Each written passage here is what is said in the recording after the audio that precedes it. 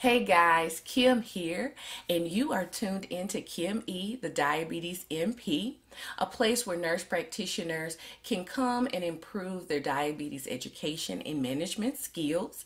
If you are tuned into this broadcast, you have opted in for the free insulin email course.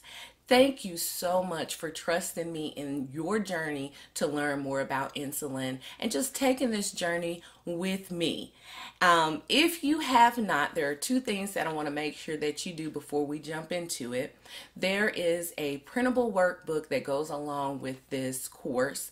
In that workbook, it's kind of like my expanded outline notes. I kind of put some extra things in there, and I may mention some of those things in this uh, recording. But if you have that, you'll have everything um, that goes along with this course, as well as some space to write your own notes.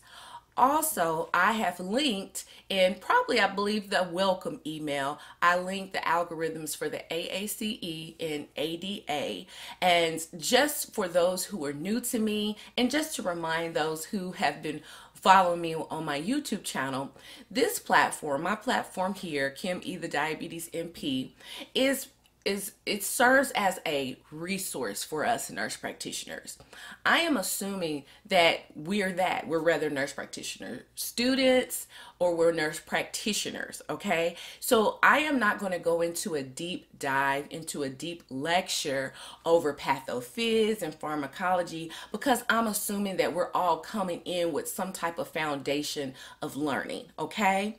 So it will help you a lot if you have the workbook printed out and you have the algorithm because I am going to refer to those uh, throughout the course and it will be good if you have those handy. So let's go ahead and get into the course. Physiology. Now we know that insulin is made in the pancreas. It's secreted by the beta cells of the islets of Langerhans. Now here's something else to note about insulin. It comes from a bigger molecule called proinsulin. Now when the glucose in our body is elevated, that proinsulin cell, that molecule cleaves down into two molecules, one being insulin, one being connecting peptide, okay? We more commonly know this molecule to be C-peptide. Now, a fun fact about C-peptide is more so with type 1 than type 2. If you want to indirectly figure out if someone may be dealing with diabetes, get a C-peptide level. We know that insulin and C-peptide, they're going to be released in equal amounts. So if C-peptide is low, then the insulin is low.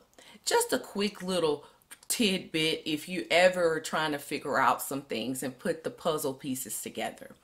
Also, we know that amylin is also co-secreted as well with insulin. And the thing about amylin, uh, amylin, and I also made a video about this if you need a little refresher over that drug course, and I'll make sure to link it up here or down in the description box. But amylin is secreted as well, and it actually helps to enhance the effects of insulin.